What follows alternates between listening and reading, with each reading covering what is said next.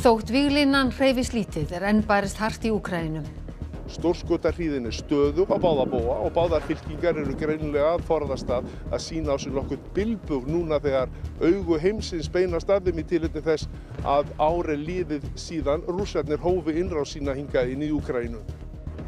Yfirgnafandi meiri hluti fyrirtækja samþykti tillögu stjórnar samtaka atvinnulífsins um að setja verkbann á alla félagsmenn eflingar. Heilbreyðisráþara segir að ef öryggi sjúklinga verði ógnað sé skilda stjórnvalda að bregðast við. Bændasamtökin gaggrina merkingar óreið á landbúnaðavörum hér á landi. Innfluttar vörur séu merktar á íslensku með íslenska fánanum en upprunalandi í smáuletri jafnvel aftan á vörunni. Búnaður úr varaafstöð Rarik í Nesköpstað er á leið til Úkrænu þar sem þörfin er mikil en það innviðir illa farnir. Rafstöðvarnar þrjá getur knúið lítil þorp eða jafnvel sjúkrahús. Förðuverur leku lausum hala um allt land í dag á öskudegi. Kátir krakkar sögðu þetta skemmtilegasta dag ársins að aðfangadegi undanskildum.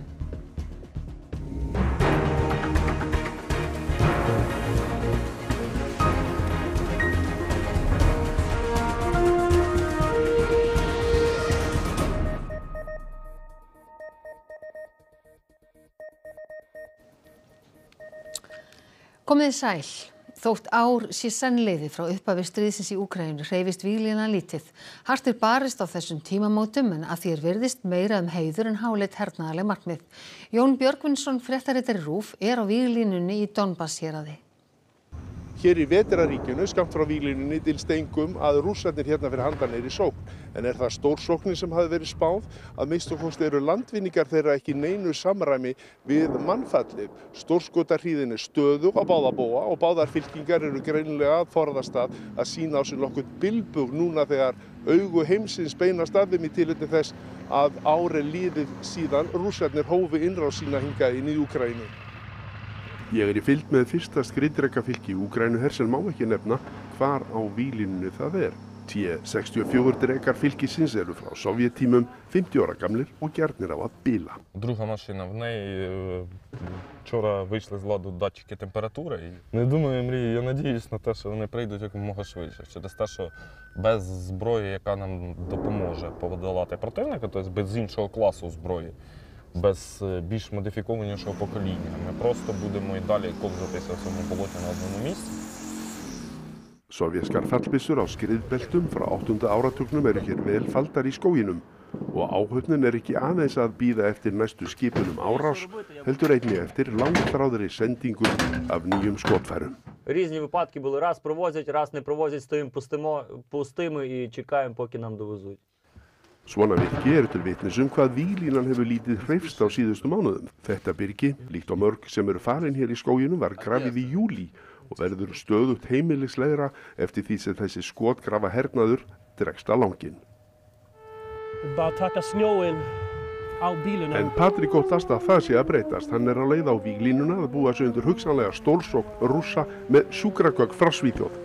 Þetta er uh, sjúkrabílinn minn. Patrik, sjálfskeipaður sænsku sjúkraliði á fjölskyld á Íslandi. Hérna líka. Þessi framlögsvíja eru til þess ætluð að veita almennum borgurum fyrstu hjálp.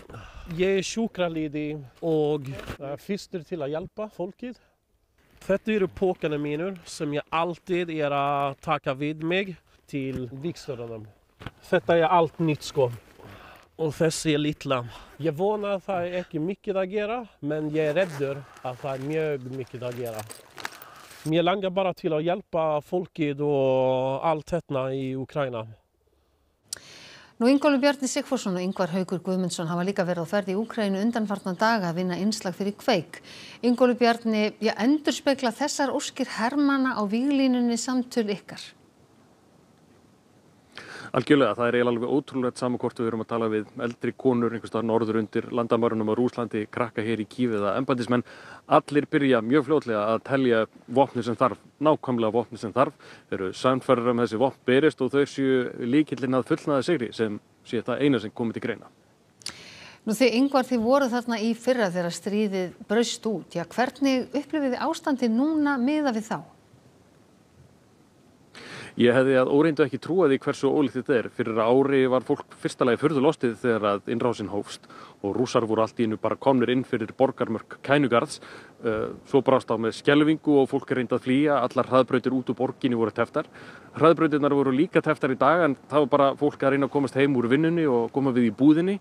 Uh, verslanir og veitingastæður eru opnar, uh, rafmagnir hér allan sólarhingin ólíkt því sem var fyrir nokkur og einu skriðdregarnir sem sjást hérna í nándiru þessir sem voru settir hérna upp á torki bara til að minna fólk á að það ættur sér stað bardaðar annar staðar í landinu.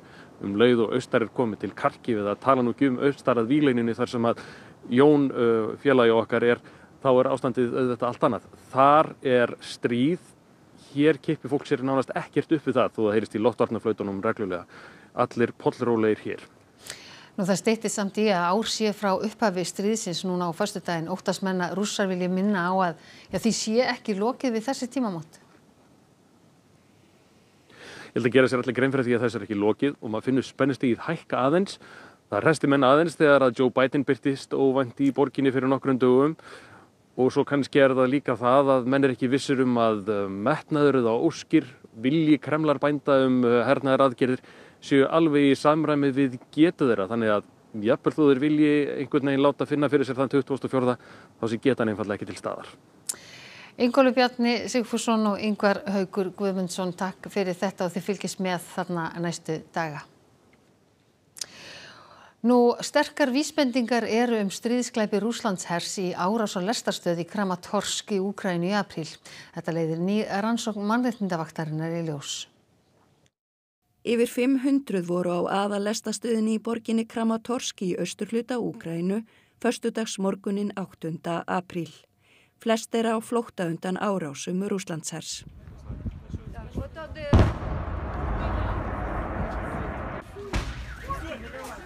Mikil skjelving greip um sig þegar árásin reið yfir. Einn þeirra sem var á staðnum lýsir því þannig að margir hafi dottið á gólfið. Annar fótleggur tengdamóður hennar hafi sprungið af, hinn brotnað. Stuttu síðar lést hún. Alls býðu 58 bana og yfir 100 særðust. Those that carried out the attack or ordered the attack may be responsible for committing a war crime. Þetta er talin ein mannskeðasta árásin í Úkrænu síðan rússar réðustangað inn. Fulltrúar mannrettinda vaktarinnar eða Human Rights Watch og rannsóknarfyrirtækisins C2 Research fóru til Kramatorsk stuttu síðar og hófu rannsókn. Þeir rættu við nokkur þeirra sem lifðu árásina af, ættingja þeirra sem fórust, lækna og fleiri. Þeir greindu fjölda myndbanda, ljósmynda og gerfinhattamynda. Niðurstaðan er svo að miklar líkur sé á að rússar hafi varpað klasasprengjunni sem var að gerðinni Tótska U frá nálegu þorpi Kúníe sem þá var á valdi rússa. Inni í klasasprengjunni voru 50 minnisprengjur sem mannettindasamtökin segja hannaðar til að myrða og særa fólk. And what it does is it flies over the target and once it reaches the target area it separates using a small explosion releasing all of these small bombs which fall over a wide area and once they hit the ground they detonate. Stjórnvöld í Rúslandi hafa ætið neitað að hafa gert árásina og hafa sakað Úkrænu hér um hana. So we're calling on the international community to investigate this attack as unlawfully uh, indiscriminate. The investigation to be carry, should be carried out by both national and international jurisdictions. Klasasprengjur sem þessar eru bannaðar samkvæmt alþjóðalögum. Forki Rúsland nýja Úkræna eiga aðild að sáttmála gegn nótkunn þeirra. Verkbann á alla eflingarfélag og almennu vinnumarkaði var samþykkt með yfirgnæfandi meiri hluta hjá aðildarfélagum samtaka atvinnulífsins í dag. Bleið 95% þeirra sem greitu atkvæði kusu með verkbanni en einungis 3% kusu gegn því. Verkbann hefst því að óbreyttu annan mars. Nú Elsa Maria Guðlug Strífudóttir fréttamaður er í húsi atvinnulífsins. Já, þetta er afgerandi niðurstaða en var góð kjörsó? Já, það var mjög góð kjörsókn, uh, hátt í 88%, þannig ég held að það sé óhætt að segja að það sé ein hugur innan samtakarna um að stíga þetta skref í kjaradælinu. En hjá mér er Haldur Benjamin Þorbergsson, þetta er eftir viku, annan massa þetta hefjast, trúur því að þessu verði? Því miður óttast ég af þessu verði og ég var mjög afdráttalös á kynningafundi hér fyrir félagsmenn okkar þar sem ég kvatti okkar aðeldafyrirtæki til þess að greiða atkvæði, atkvæði eftir sinni samvisku og varaðu jáfnframt við að með því að greiða atkvæði þá geti komið til þess að, að verkbannið myndi koma til framkvæmda. Þetta feiki margt fólk rúmlega 20.000 mann sem eiga þá ekki fara til vinnu. Hvernig verða áhrifin á samfélagið? Þetta er afskaplega þungbær spora stíga. Ég lít svo á að þetta sé nöðvörn samtakatunlýsins í þessari kjaradeilu gagvart eflingu. Ég lít svo á að við séum að bera hönd fyrir höfuð okkar til þess að í raun reyna að ná einhverju stjórn eða taka þátt í þróun atbyrðarásarinnar. En það er ljósta áhrifin verða mjög viðtæk. Við veitum að verða veittar undanþáur fyrir almannaþjónustu, allt tengt heilsugjæslu, spítulum og öllu slíku. En einhverja síður er þetta fjölda margir sem eru undir. En því miður eru okkur öll sund lokuð í þessari kjaradeilu og við lítum á þetta sem síðasta neyðar úrræð okkar. Uh, ríkið hefur ekki viljað stíga inn í þessa kjaradeilu hinga til. Eru þið að senda þeim skilabóð núna um að setja lög á kjaradeiluna? Það hefur verið stefna samtakatunlýsis um ára og ára tuga skeið að leysa úr deiluefnum við kjarasamlingsborðið. Með þessu viljum við knýja eblingu á um gerð kjarasamlings við samtakatunlýfsins. Þess að við megum ekki gleyma því að 90% allra stjættafélag, hringin kringu landið, er búið að undir þetta kjarasamling við samtakatunlýfsins. Eitt stjættafélag stendur eftir, ebling, og samaskapi minni á að það er gild miðlunatilega sem ríkisáta sem er í lagðið fram og ég auðvitað á erfitt með að lifa með því að ebling neyti félagsmönnum sínum að greiða atkvæði um þá miðlunatilugu og mænti þess að það fái aukna umræð á næstu dögum. Þakka þér fyrir Haldur. Já, það er þannig verkbanna ætti að hefjast þá ef ekkert breytist annan massi næstu viku en við segjum þetta gott hérna úr húsi aðtunlýfsins.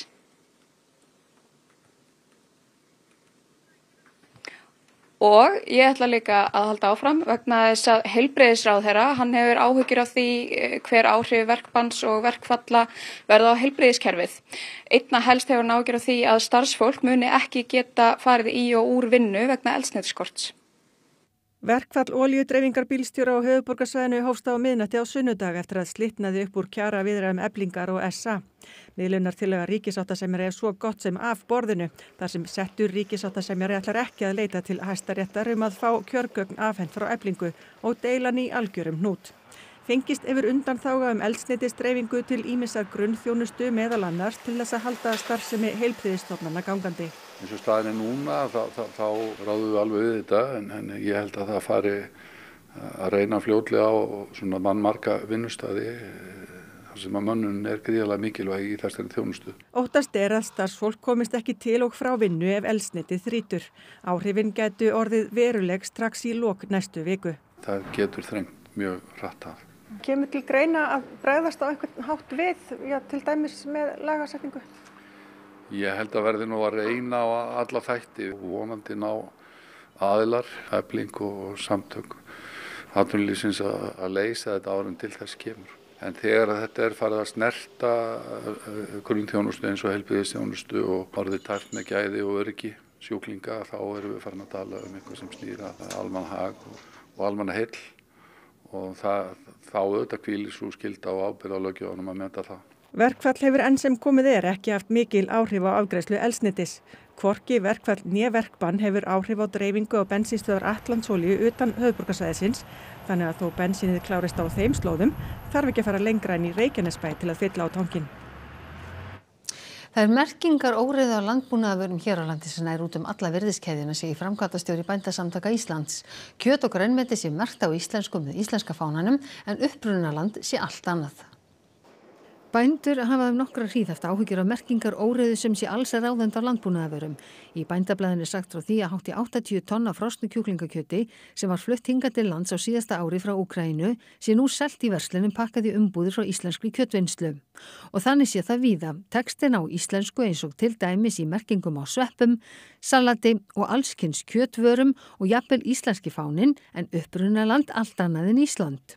Þetta er út um alla virðiskeðuna, þetta eru matalaframlendur, þetta eru verslanir, þetta er, það er til lítils að tala um heilnæmi íslenska afurða, hvort sem það er fiskur eða kjöt, ef svo síðan að getur lítilega glöggvaði á hvað, hvaðan raunverulega matalinn koma sem þess að síðan raðað upp í hittur við hliðina á þeim. Er þetta einhvers konar merkingar óreiða? það er alveg, alveg ljóst. Þetta er merkingar óriða. Oft og tíðum segir Vigdís að sé um hreina misnotkun á íslenska fánanum að ræða. Hún segist þú suma greina frá upprunalandi í smái letri framan eða aftan á vörunni en texti á íslenskum en varamert íslenska fánanum en frá öðru landi getur verið afarvillandi fyrir viðskiptavinnin. Þetta er reysastort neytendamál. Íslandingar eru góðir neytendur og vilja vera vel upplýstir.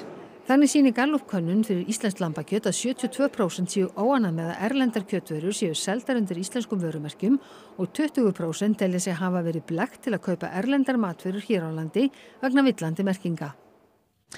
Umhverfistofnun bandaríkjana hefur skipað lestarfyrirtekinu Norfolk Southern að greiða fyrir hreinsun eftir eiturefnaslis sem talið er eitt að alvarlegasta í setni tíð. Íbúar hafa áhyggjur af langtíma afleðingum slisins. Svona var staðan í smábænum East Palestine í Ohio 3. februar. Þá fór lest sem flutti í mis eiturefni út af teinunum og eldur braust út.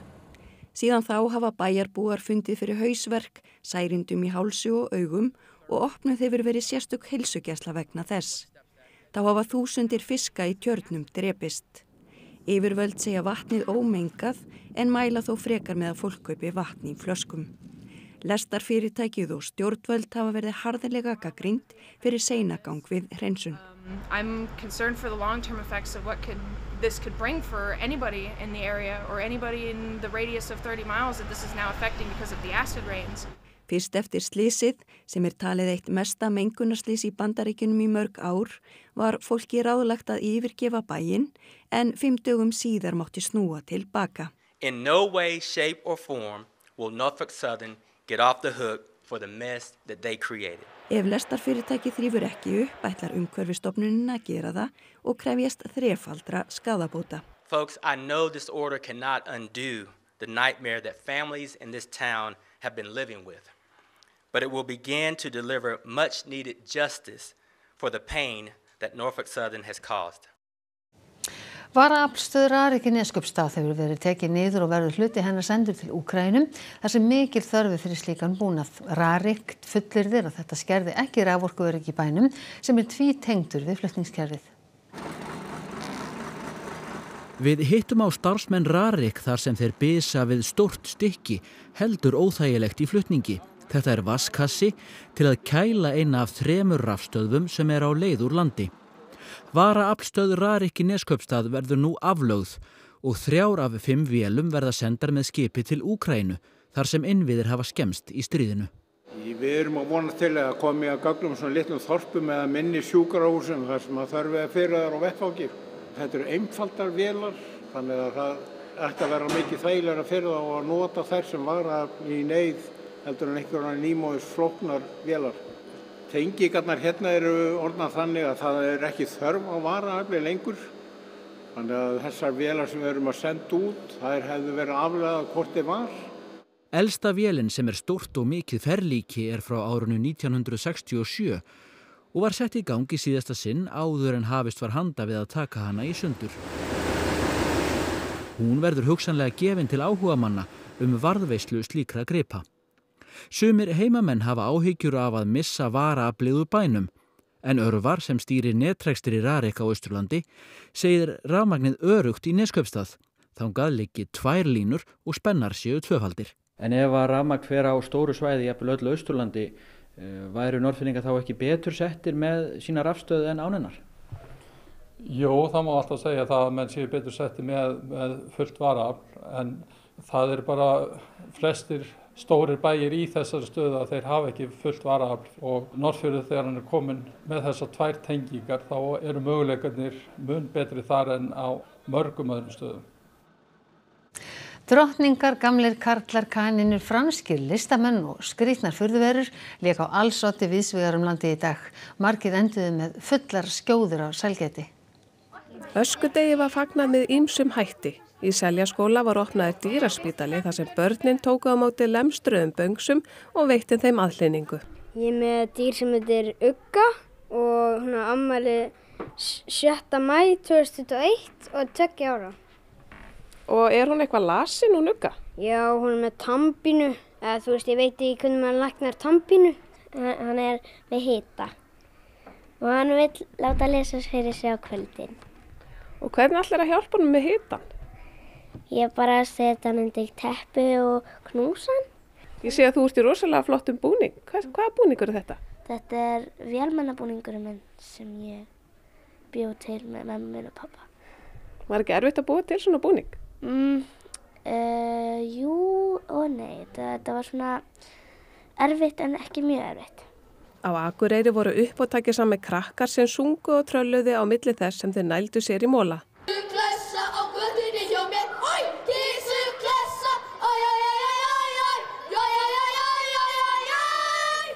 Sumur endur sér á skautum í tilefni dagsins.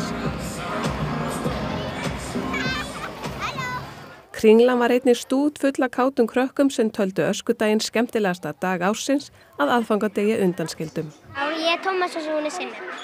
Og var erfitt að ákveða sig í hvaða búningu þið ætlaði að vera? Við erum að vera egg og bacon um að það gekk ekki upp. Finnst ykkur þetta skemmtilegasti dagur ársins? Jólin aðeins betri.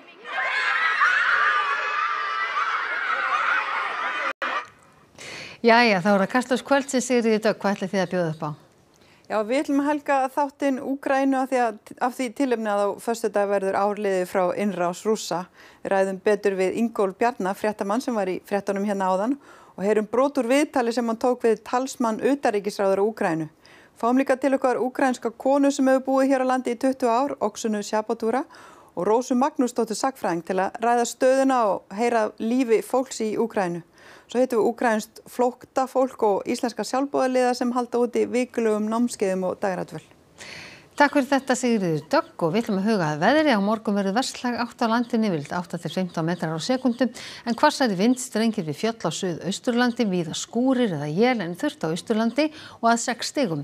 Hægari vindur og úrkomi lítið síðtegis. Kristín Hermannsdóttir veðurfræðingur fyrir nánari við veðurhárfur á loknum íþróttum sem Einar Örn Jónsson sér um í kvöld. Karlalandsliði Korfubólta verður án þryggja líkilmanna gegn heims- og Evrópumeisturum Spánar í undan keppni HM annað kvöld. Vonast er til að þeir verði klári í slægin gegn Georgi á sunnudag. Ekkert of alvarlegt. Dreiði var í undan úslit byggarkeppninar í handbólta í dag. Hörkuleikir býða í laugadalshöll, þar á meðal Suðurlandslægur. Kannski er hægt að samnýta rútur bara á leiðinni. Ef það er landegaröfnum þá getum við samnýta. Og Gunnar Magnússon segir sér hafa runnið blóði til skildunar að stýra karlalandslið Íslands út undan keppni EM í handbólta eftir að Guðmundur Guðmundsson lét af störfum í gær. Og þá ætlum við upp helstu atriði þessa fréttatíma. Allt annað og yfirvegaður andrumslottir í Kíf í dag en fyrir árið þegar innrás rúsa í Úkrænu hóst. Og austurvíkstöðunum er hart barist þótt víglínan færist lítið til. Fréttamenn Rúf voru bæði í Kíf og Donbass í fréttatímanum. Yfirgnæfandi meiri hluti fyrirtækja samþykti tillögu stjórn og samtaka atvinnulífsins um að segja verkbann á alla félagsmenn eblingar. Heilbreyðisráþra segir að ef öryggisjúklinga verði ógnað sé skilda stjórnvalda að bregðast við.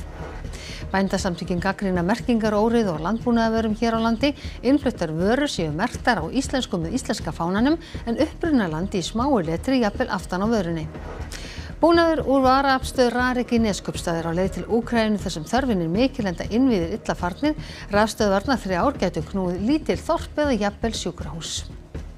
Þessum fréttatíma er að ljúka og það er komið að íþróttum veðri og svo kastljóðsip. Það er næst fréttir í útvarp og sjónvarpur klukkan 10 í kvöld og nýjastu fréttir má alltaf finna inn á rú.is. En við ætlum að segja þetta gott að sinni. Verðið sæl.